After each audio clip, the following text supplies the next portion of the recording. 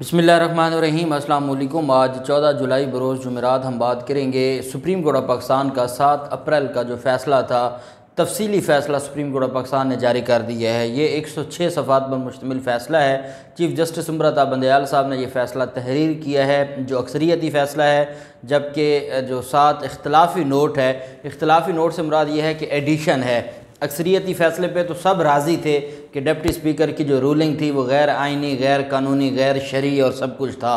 उसके बाद फिर अगला मामला आ जाता है कि जो honourable chief justice Umar Ata Bandial साहब, जो अक्सरियती फ़ैसला था, वो नहीं चाहता था कि मज़ीद कोई कार्रवाई की जाए, लेकिन जो जस्टिस मज़र आलम मियाँ खेल साहब जो अब रिटायर हो चुके हैं, जिनका जो टिन्योर है वो मुकम्मल हो चुका है, शायद उनको ये लगता हो कि उनकी रिटायरमेंट के बाद और उनको सारी चीज़ समझ तो आ गई थी कि अगला जो इस रजीम चेंज के बाद यही लोग हैं जो हमारे हुक्मरान हैं तो शायद ये हो कि उनको कोई अहदा मिल जाए, कोई चेयरमैन ऐप कोई चीफ इलेक्शन कमिश्नर कोई अपना सदर पाकिस्तान, कोई सैनिटर कुछ भी तो उन्होंने तो फिर हद ही कर दी।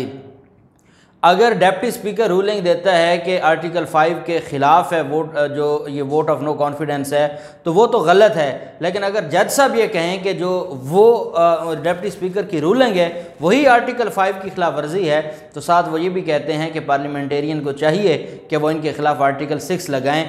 मकसद ये है कि वो रास्ता प्रोवाइड कर रहे हैं उस इम्पोर्टेड हुकूमत को कि जो आर्टिकल सिक्स का ख्वाब देख रहे थे, उनको सुप्रीम कोर्ट के एक जज ने अपने फ़ैसले में ये रास्ता दे दिया है कि आप आर्टिकल सिक्स लगाएँ, मेरा फ़ैसला आपके पीछे खड़ा होगा। ये वो चीज़ें हैं जो हमारे निज़ाम को कंट्रोवर्शियल बनाती हैं, जो मज़ीद डिस्प्यूटेड बनाती हैं और ये बड़ी बदकिस्मती है मैं हैरान होता हूँ इस फैसले को मैंने रात पढ़ा है रात हमने इस इस वजह से इसको बात नहीं की कि इतना बड़ा फ़ैसला था तो इसको मैंने दो दफ़ा स्टडी करना था और मैं इस नतीजे पर पहुँचा हूँ कि दो चीज़ें हैं। एक तो जस्टिस मज़र आलम या खेल साहब क्या ये जो इख्तलाफी नोट है ये आ, कानून की नज़र में ये कोई अच्छी रिवायत नहीं वो छोड़ के गए कि जो सियासी मुखालफी चाहते हैं वही जज साहब अपने फ़ैसले में लिख के जाएँ। और दूसरी तरफ़ जो अक्सरियती फ़ैसला है, उसमें जिस अमरीकी साइफ़र का ज़िक्र किया गया है, उस पर मुझे दुख इस वजह से हुआ कि जो सबक अटारनी जनरल साहब थे, वो चीख चीख कर अदालत को ये कह रहे थे और अदालत से ये इस्तदा कर रहे थे कि आप इन चैम्बर, एक समात कर लें, चैम्बर के अंदर समात कर लें, हम आपको वो साइफ़र भी दिखा देते हैं। उसके कॉन्टेंट्स भी बता देते हैं। ये इतनी बड़ी साजिश है कि जिस साजिश के तहत ये हमारे ऊपर मुसलत किए गए हैं तो बर मेहरबानी आप इसको देख लें। और अदालत कहती है, सुप्रीम कोर्ट ऑफ़ पाकिस्तान, कि हमें तो साइफ़र का जो मुकम्मल उसका कॉन्टेंट्स हैं, वो दिखाए ही नहीं गए। और जो दलाइल थे वकला के, हकूमती वकला या अटारनी जनरल के, वो भी सिर्फ़ चंद एक मदरजात के हवाले से थे, बाकी नहीं थे। लेकिन उन मंदरजात में कोई ऐसी चीज़ नहीं थी कि जिसकी बुनियाद पर यह कहा जाए कि ये रूलिंग दुरुस्त थी। मतलब ये कि वो साइफ़र जिसके हवाले से सुप्रीम कोर्ट में उसकी तहकीकात के लिए एक दरख्वास्त पहले पेंडिंग पड़ी है, पहले ऑब्जेक्शन लगा ऑब्जेक्शन रजिस्ट्रार साहब ने लगाया, उसके ख़िलाफ़ दरख्वास्त अपील दायर की गई। इन चैम्बर अपील जो आज तक जिसके ऊपर समात के लिए वो मुकर नहीं हुई। सबक वज़ी अजम ने ख़त लिखा सबक जो स्पीकर, डेप्टी स्पीकर थे, उन्होंने बाकायदा वो साइफ़र सुप्रीम कोर्ट के चीफ जस्टिस को भिजवाया। सदर ममलिकत ने ख़त लिखा चीफ जस्टिस साहब को, और वो ख़त भी आज तक सदर ममलिकत का भी जो ऑनरेबल चीफ जस्टिस साहब ने उनके चैम्बर में पढ़ा है। जब हर चीज़ उनके पास मौजूद थी, और अब जब तफसीली फ़ैसला वो जारी फरमा रहे थे तो सारी चीज़ें उनके पास मौजूद थी। जब आपने उस केस को सुना नहीं, आपने उस जो साइफ़र है, उसकी तहकीकात के लिए कोई कमीशन बनाया नहीं, आपने उसके ऊपर कोई एविडेंस ली ली नहीं, आपने अटारनी जनरल साहब के ये जो ऑफ़र थी या रिक्वेस्ट थी कि इन चैम्बर इन चैम्बर इसको सुना जाए और वो सारी चीज़ें अदालत को बताने को तैयार थे, उसके बावजूद उस पर रूलिंग देना और ये कहना कि वो कोई ऐसा प्रेसिडेंट नहीं है कि जिसकी बुनियाद पर यह कहा जा सके या बैरूनी मुदाखलत से मुतलिक हम दलील से मुतमिन नहीं हैं। तो हजूर, आपने तो दलील सुनी नहीं थी। आपने किसको नहीं याद कि बार बार अटारनी जनरल साहब कहते थे, जनाब, कि आप इन चैम्बर आप इजलास आप समात कर लें? हम आपको सारी चीज़ें बताने को तैयार हैं। ना आप ओपन कोर्ट में सुनना चाहते थे, ना आप चैम्बर के अंदर सुनना चाहते थे। और फिर आप फरमाते हैं कि दलील से मुतमिन नहीं है। तो मैं ये समझता हूँ कि आइन और कानून की जो रूह है, उसका जो हुआ है उसके साथ। अब मैं पहले आपको पढ़ के सुनाऊँगा जो फ़ैसला है अक्सरियती। और फिर हम बात करेंगे जस्टिस मज़र आलमिया खेल साहब के अख्तिलाफ़ी नोट की। सॉरी, ये 106 सफ़ात नहीं, छियासी सफ़ात पर मुश्तमिल है। और फिर उसके अलावा एडिशन में हैं जो बाकी सफ़ात हैं जो ऑनरेबल जो अदालत है, उनकी तरफ़ से जो जस्टिस मज़र आलमिया खेल साहब, जो सबक जज हैं, उनकी तरफ़ से और जस्टिस मंदो खेल साहब की तरफ़ से। डिप्टी स्पीकर की रूलिंग के ख़िलाफ़ आज खुद नोटिस का फ़ैसला सूरत शुरा से किया, आगाज़ सूरत शुरा की एक आयत से किया। फ़ैसले में कहा गया कि चीफ जस्टिस पाकिस्तान के घर पर इजलास हुआ। बारह जजेस ने खुद नोटिस की सिफारिश की। अदालत ने आइन मुकदम रखने और इसके तहफ़ के लिए स्पीकर रूलिंग पर आज खुद नोटिस लिया और डिप्टी स्पीकर के गैर आइनी इकदाम की वजह से सुप्रीम कोर्ट मुतहरक हुई। फैसले के मतन के मुताबिक डिप्टी स्पीकर की तहरीक अदम अतमाद मुस्तरद करने का फ़ैसला गैर आइनी है, लिहाजा वजी अजम का असम्बलियाँ तहलील करने का हुक्म भी गैर कानूनी करार देते हुए कलादम करार दिया जाता है। हमजा शहबाज का 16 अप्रैल का इलेक्शन गैर आइनी था लेकिन उसके बाद जो कुछ हमजा शहबाज ने किया उसको अदालत ने आ, आ, सेव कर लिया और कहा कि वो सब कुछ दुरुस्त था। आज तक वही वज़ी अला हमारे ऊपर बैठा है और यहाँ पर अगर डिप्टी स्पीकर की रूलिंग गलत थी तो उसके बाद भी जो कुछ हुआ वो सारा कुछ कलदम करार दिया गया। अक्सरियती फैसले में कहा गया कि तहरीक इंसाफ के वकील ने बैरूनी मुदाखलत से मुतल मरासले का हवाला दिया लेकिन मुबैना बैरूनी मरासले का मुकम्मल मतन अदालत को ना दिखाया गया और मरासले का कुछ हिस्सा बतौर दलाइल सुप्रीम कोर्ट के सामने रखा गया। फैसले में कहा गया कि तहरीक इंसाफ के वकील के मुताबिक मरासले के तहत हुकूमत गिराने की धमकी दी गई। मुबैना बैरूनी मरासला खुफिया सिफारती दस्तावेज़ है। सिफारती तल्लक के बायस अदालत मरासले से मुतल कोई हुक्म नहीं दे सकती। अब वो सिफारती तल्लक बचाने हैं मुल्क की जमहूरियत चाहे बेड़ा गर्क हो जाए, मुल्क की जमहूरियत चाहे सिंध हाउस में बिकती रहे, मुल्क की जमहूरियत चाहे मैरिट होटल में बिकती रहे, मुल्क की जमहूरियत चाहे हमारे एम एन ए और एम पी एस जाके, अमरीकी अम्बेसी में जाके मुलाकातें करें, ये सारा कुछ बचाना है। और इसको जो अमेरिका के साथ हमारे सिफारती तल्लक हैं उनको बचाना है। और उस दिन जो जमहूरीत का जनाजा निकाला जा रहा था और जो नाम नयाद अदम अतमाद लाई गई और उसके पीछे जिस किसको नहीं पता? एक बच्चे को भी पता है कि ये अवाम के मैंडेट से हुकूमत तब्दील नहीं हुई, ये डॉलर के मैंडेट से हुकूमत तब्दील हुई और उसके बावजूद उस तरफ़ जाना ही नहीं है। उस तरफ़ देखना ही नहीं है। उस तरफ़ अमरीकी जो तल्लक़ात हैं सफारती तल्लक़ात, उनको बचाना है।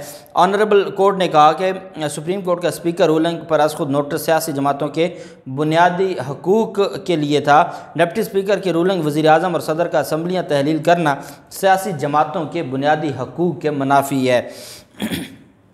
सुप्रीम कोर्ट का कहना है कि कौमी सलामती के लिए दी गई तीन अप्रैल की स्पीकर रूलिंग शवाहद पर मबनी होनी चाहिए थी। सबूत के बगैर लिए गए हकूमती इकदाम का जुडिशल रिव्यू किया जा सकता है। बैरूनी मुदाखलत से मुतल अच्छा ये जुडी, ये हुकूमती काम नहीं था। ये पार्लियामेंट का काम था और पार्लियामेंट की कार्रवाई पर जुडिशल रिव्यू नहीं होता।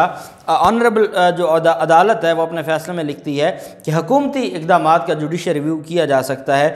सात फैसले के मतन में यह भी कहा गया कि अदम अतमाद पर वोटिंग के दिन वज़ीर कानून ने पहली बार बैरूनी साजिश से मुतल डिप्टी स्पीकर को हुक्म देने की सदा की। तफसीली रूलिंग से साबित हुआ कि बैरूनी साजिश के नामुकम्मल, नाकाफ़ी और गैर नतीजा गैर नतीजा खेज़ हक़ स्पीकर को पेश किए गए हालाँकि उससे पहले कौमी सलामती कमेटी का अजलास हो चुका था।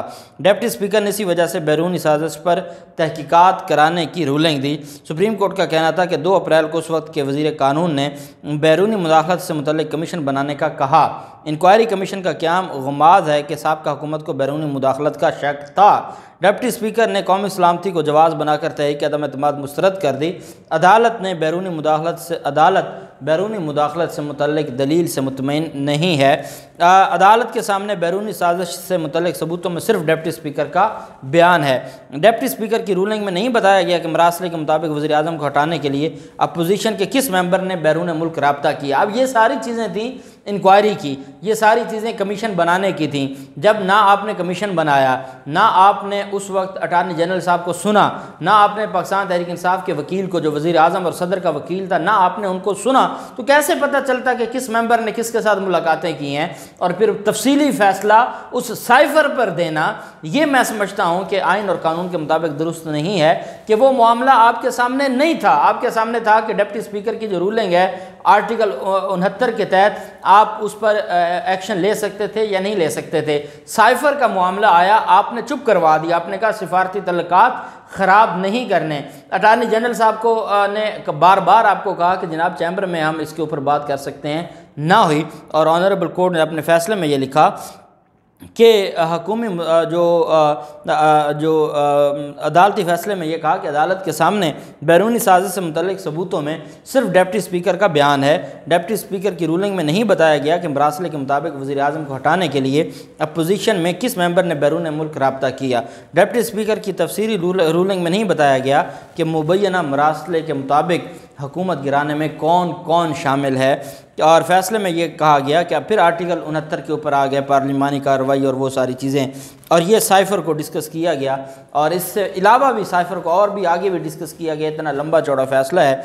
मैं सिर्फ़ आपको उसका क्रक्स बता रहा हूँ कि आप देखें सही कि हमारा जो निज़ाम है आ, साथ जो ऑनरेबल जस्टिस मज़र आलमिया खेल साहब हैं जो अब रिटायर हो चुके हैं उनकी तरफ़ से जो सात इजाफी नोट दिया गया, जिसमें उनका कहना था कि स्पीकर, डिप्टी स्पीकर सदर वज़ी अजम ने और वज़ी कानून ने तीन अप्रैल को आर्टिकल पाँच की खिलाफ वर्जी की।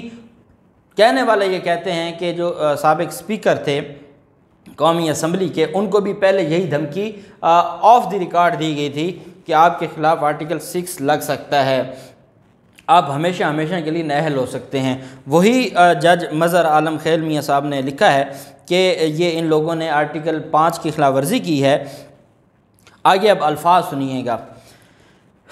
मैं इस वजह से ठंडी आह भर रहा हूँ कि हमारा जो निज़ाम है और हमारा जो आइन और कानून है उसके साथ क्या हो रहा है।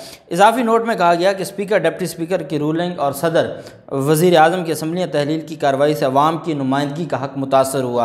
अवाम की नुमाइंदगी लोटों के बनने से हक मुतासर नहीं हुआ।